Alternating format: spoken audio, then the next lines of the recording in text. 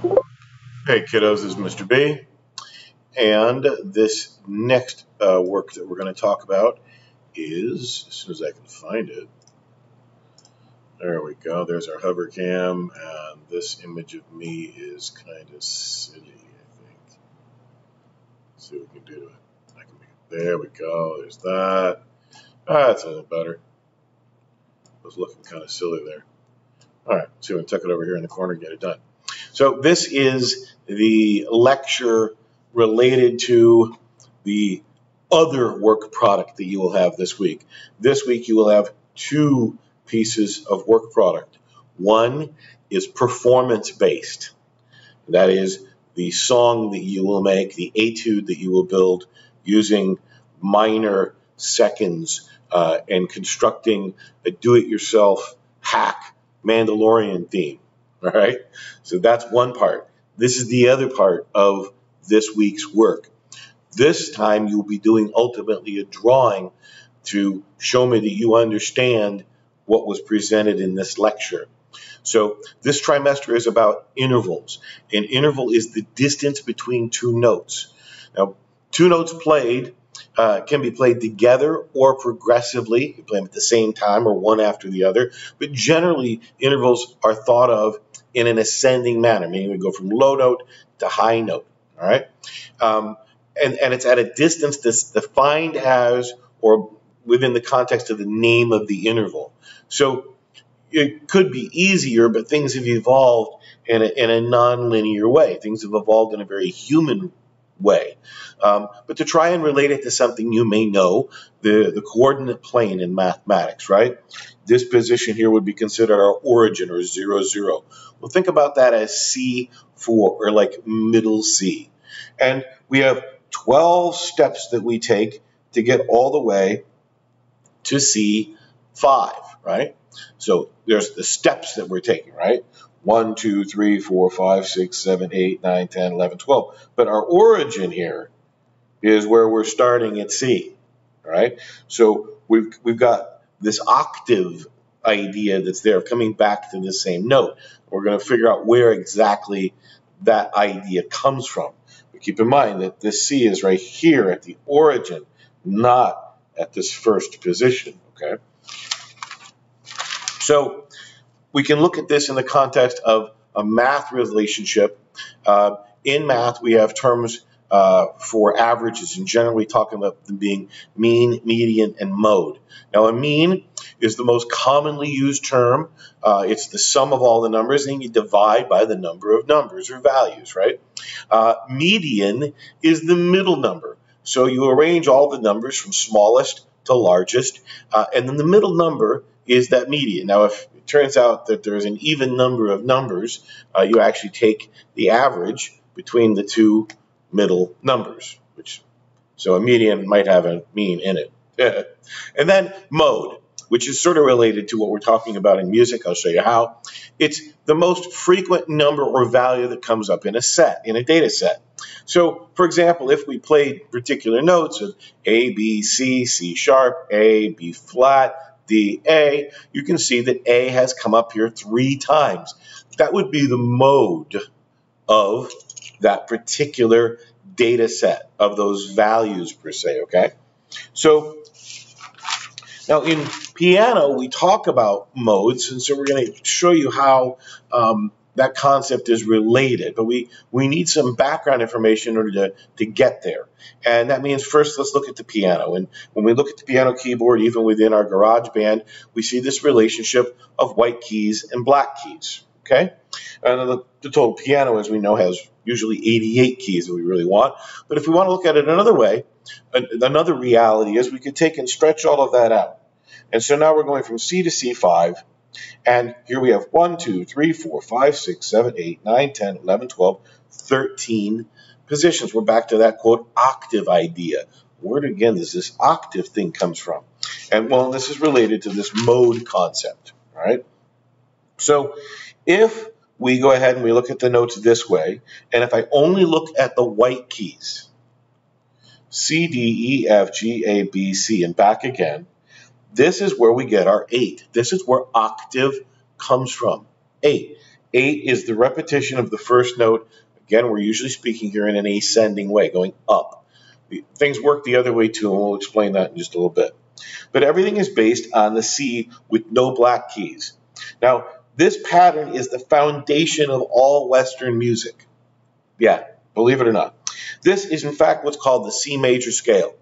Now, back in the day, it was called the Ionian mode when they were still developing a lot of these concepts and kind of trying to figure out where all the patterns were in the mix. We eventually get to, we've taken out of all the modes they played with, they reduced it down to six, and then we've reduced it down to even sort of two nowadays, and we're going to get to why. But again, if we lay out these notes on sort of like a coordinate plane idea to where this origin would be zero, as I take steps over from things, uh, one step is actually two positions, and in between is what's called a half step. So if I move from C to C sharp, it's called a half step. If I move from C to D, that's what's called a whole step. And this pattern is that.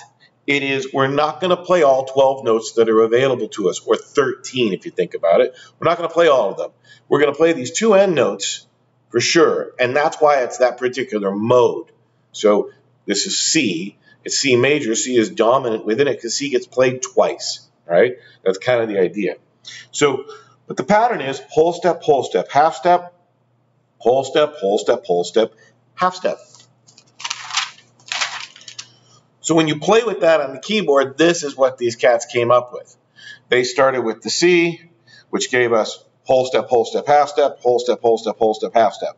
Then they did another pattern based on starting on D, just shifting the keyboard over. And so we continue on with these patterns. These are what are called the modes.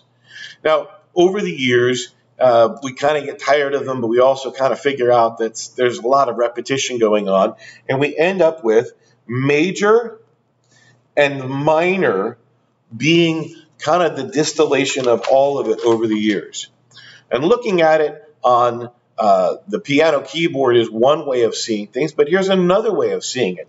If you draw out a circle, just like a clock, and you break out your fours and then twos like this, uh, you've got your 12 positions. So C, C sharp, D, D sharp, E, F, F sharp, G, G sharp, A, A sharp, and B. And if we follow our same pattern of whole step, whole step, half step, whole step, whole step, whole step, half step, that is a major scale. A minor scale is a similar and related idea. Now notice I still have C at the top, but I'm going to start from the A. A minor scale is whole step, half step, whole step, whole step, half step, whole step, whole step.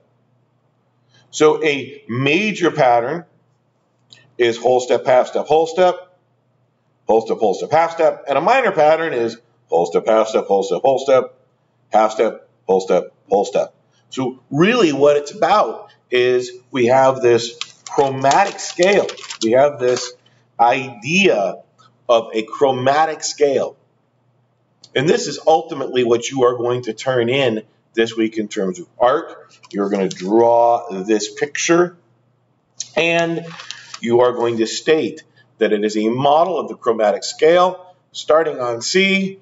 All 12 tones are played ending on the C one octave above that starting tone in an ascending form. So that's ultimately what you're going to turn in in terms of that work.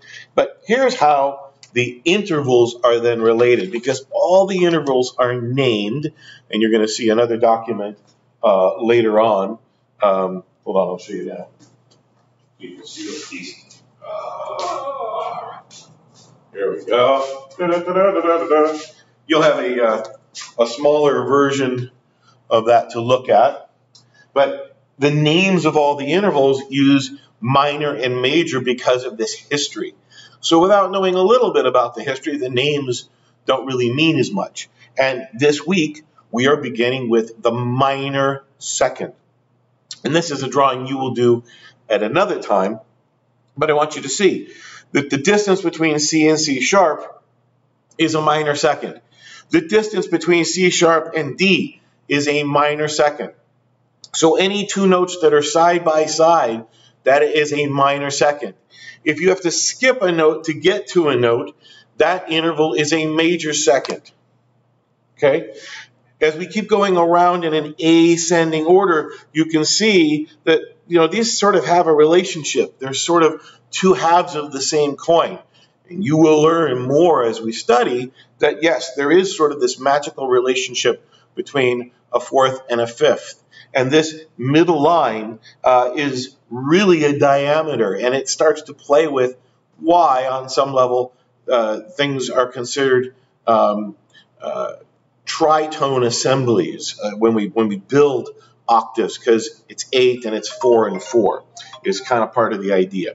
So that is the extent. Oh, one last thing. How does this relate to math still? Well, you may have seen these terms before in mathematics. Your diameter would sort of be our tritone. Each of those um, intervals that we talk about are the basis of chords in music. Usually we use three note chords and they get more complicated, but the simplest chord really is a two note chord, and that's kind of some of the relationships. Certainly, arcs, you may remember secants, tangents, and of course, a radius. But what is interesting there to us more than anything else is that we have um, this parallel relationship with the idea of a chord. And I think that's kind of cool. Again, this is the work that you have to do. So you're going to draw this with your iPad. That's the drawing you're going to do. And then somewhere in the context of that drawing, you should have a little note that says something like this, that this is a model of the chromatic scale starting on C. All 12 tones are played, ending on the C, one octave above the starting tone in an ascending form. And thank you very much.